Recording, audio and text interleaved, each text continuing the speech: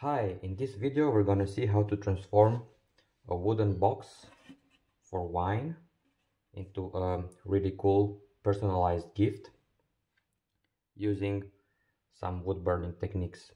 So I bought this box from Amazon. It's a really simple wooden box for storing wine. It has a nice locking mechanism and I'm gonna do some wood burning on it and show you how you can turn this into a really nice gift. So first thing that we need uh, is to sand this. So I sanded it to 240 using sanding paper this sanding block. And this step I, I would say it's really important because uh, it makes the surface of the box very nice and smooth. It was not like this originally and this is gonna help a lot while wood burning because when you have a lot of ridges it's way easier to to make mistakes and we don't want to make mistakes. And now the first step that we're gonna do the next step uh, is gonna be to use some some carbon paper like this one. And we're gonna basically put the design we want to do on the wood. In this text if you're good at drawing uh, you can do it yourself. I'm gonna do some roses on this uh, but it, I'm not good with drawing so um, this is an alternative for that so let's get to it.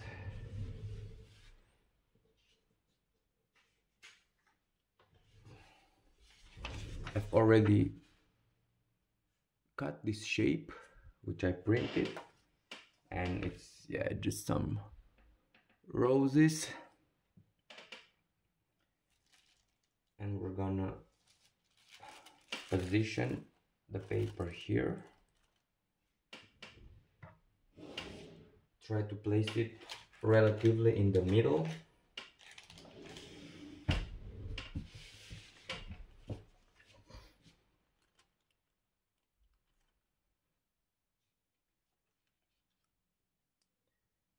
Next try to also place this relatively in the middle.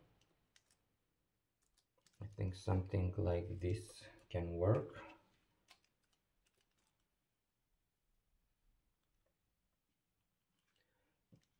and then start drawing the shape. I can actually put it this way so it's easier to see. And we just have to go along the contour.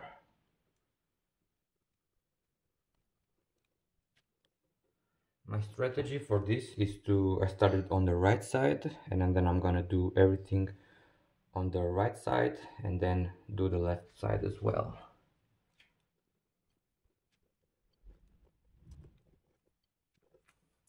in case you're wondering if you missed a spot or not you can always just look and see if you from the light you can see if you see the trace of the pencil and then it's really easy to figure out what you missed. This is the result. Super happy with it. I also like the positioning. I think I nailed it pretty well.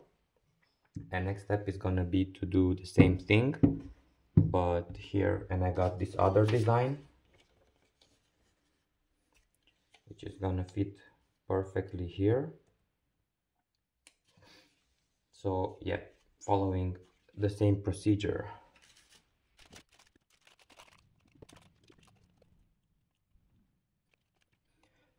So here I'm gonna do the same thing basically start on the right side and then come on the left.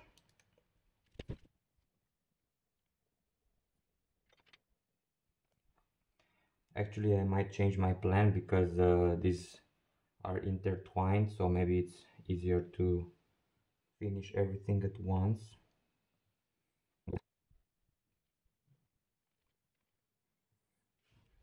So now we complete this part so we can do this part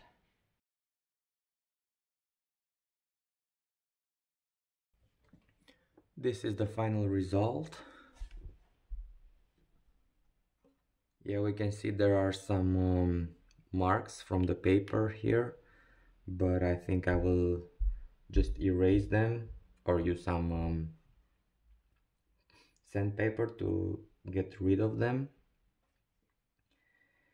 And the next step will be to put some roses here and on the other end and for this I'm gonna use another pattern. So I followed the exact same procedure and the carbon paper is underneath and here's the shape. Um, I'm not gonna be able to film this because the position is a bit uncomfortable but it's basically the same thing as before. There we go. It's gonna be a bit interesting to do the wood burning with this big ridge. But this is the result. And now the last drawing step will be to do a similar thing on this side. And this is the result of the last drawing. Looking really well. So as we saw before there are especially here some marks left from the carbon paper. So what we can do regard that is to use some sanding paper and just kind of use it as an eraser. Of course without not scratching the wood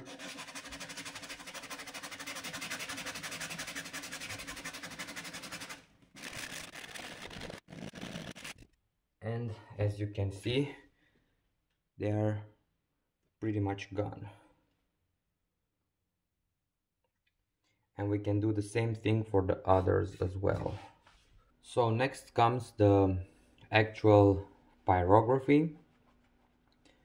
So I think I'm gonna keep it relatively simple. I want to do some shading for the roses to really make them stand out. Uh, for the leaves I'll probably do some shading as well. Uh, and these I'm gonna leave them pretty simple. Same as the stems so yeah for this is really recommended besides the wood burning machine of course to have a ventilator. Um, which can push the smoke away.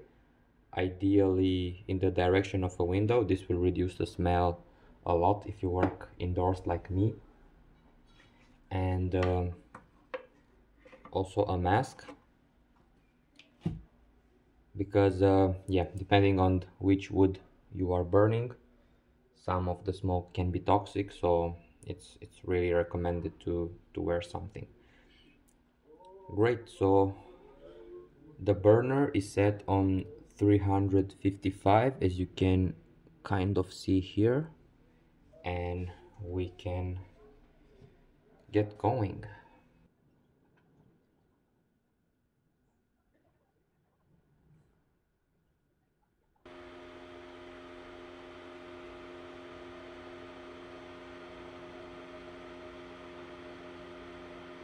Here's how the first phase turned out looks really good. There's still the um, shading to be done here but first I want to be able to I, I want to draw all the contours and then we can proceed with the gradients for shading. The lateral sides are also finished now. This is how they look like.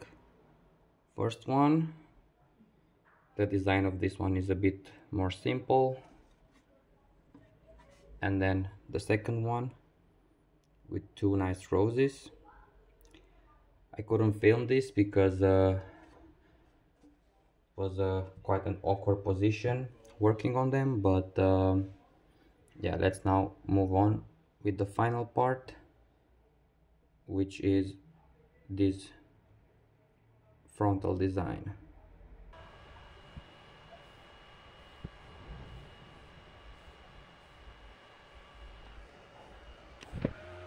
the front and final design is also completed now. And one interesting thing that I noted is that uh, the texture of the wood is quite different. Uh, for example if you burn on this side versus if you burn on this side maybe you can even see here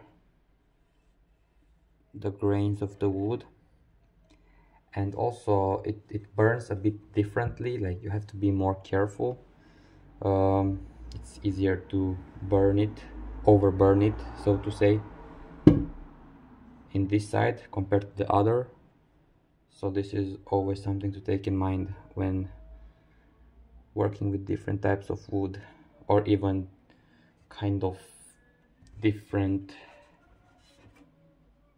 sections this is how it looks like. So now there's only one more wood burning thing to do which is to basically fill in the um, roses and the leaves and do some shadows to really make them stand out. So yeah this is what I'm gonna do next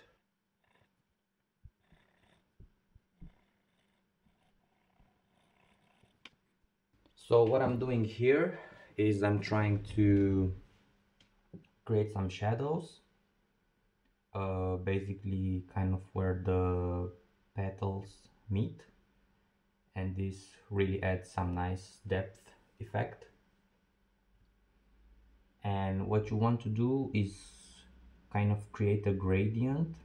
So go from darker to brighter and um, yeah it's a bit uh, it's a bit uh, takes a bit of time but the result is really really worth it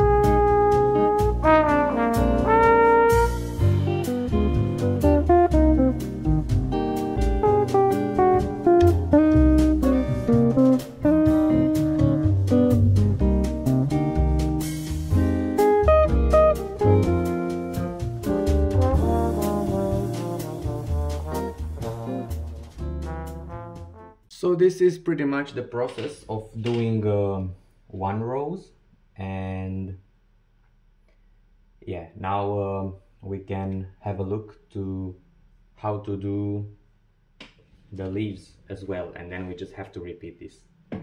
So for the leaves I'm just gonna add some small details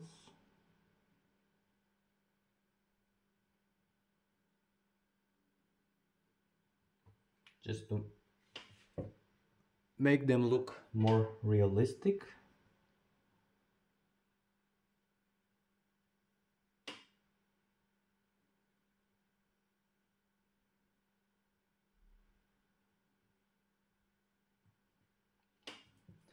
And then I'm gonna apply the same technique.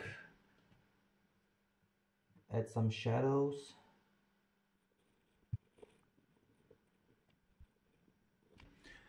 and now we have successfully created one leaf. So yeah that's pretty much the process and I'm gonna repeat it to all of them. All the leaves and the roses are now completed. Uh, I'm really happy with how they turned out.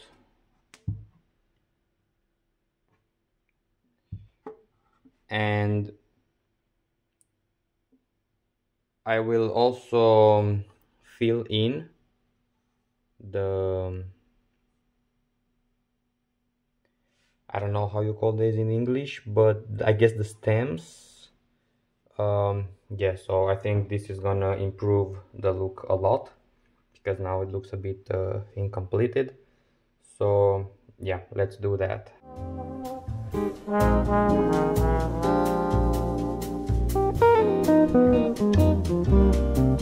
super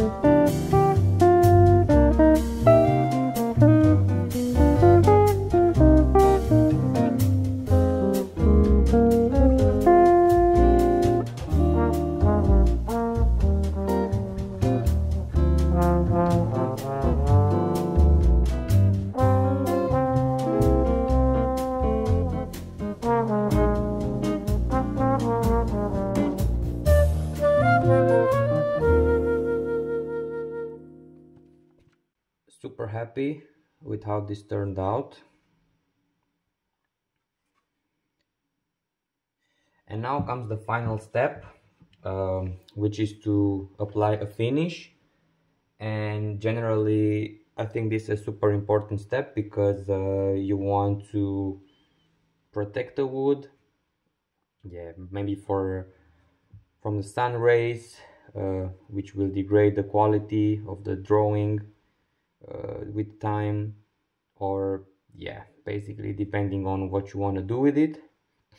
And you can use basically any wood finish you want.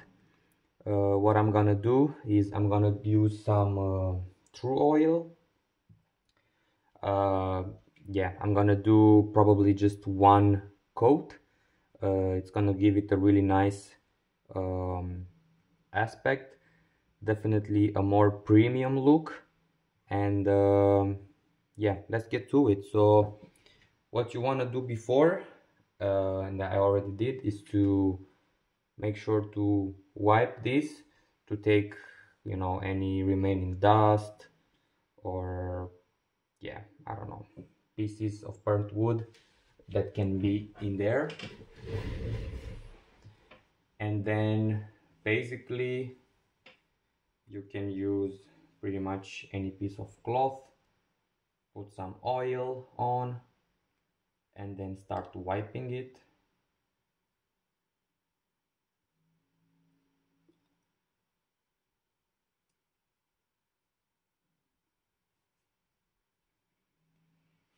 So I'm putting some oil here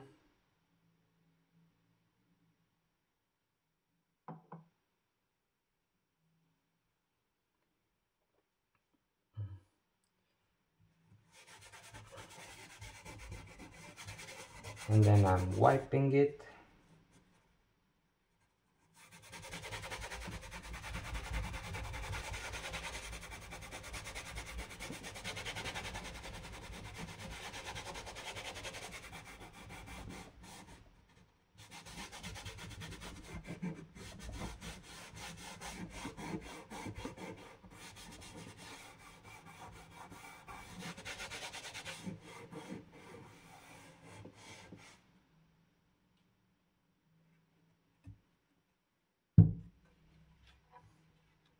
and now I'm wiping it here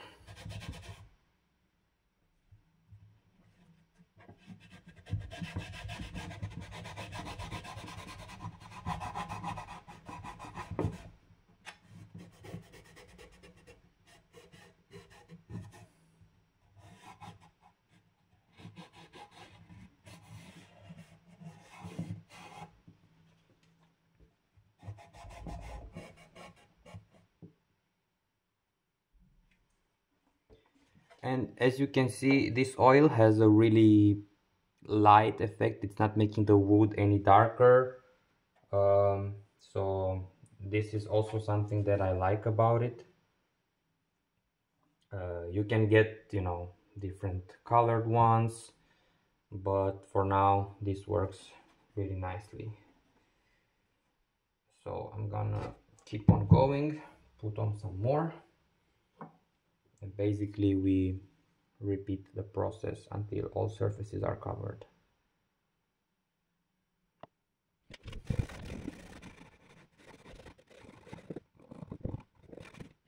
And the work is now complete. I'm not sure how well you can see the difference but it's visible like for example this is no finish and this is with finish